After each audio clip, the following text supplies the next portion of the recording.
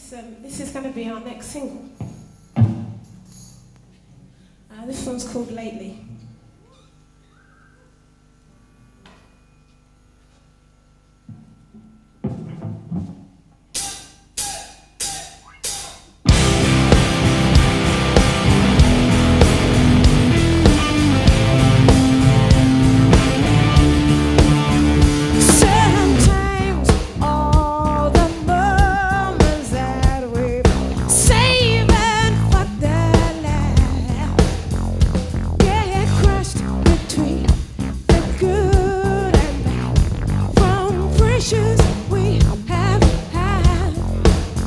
肩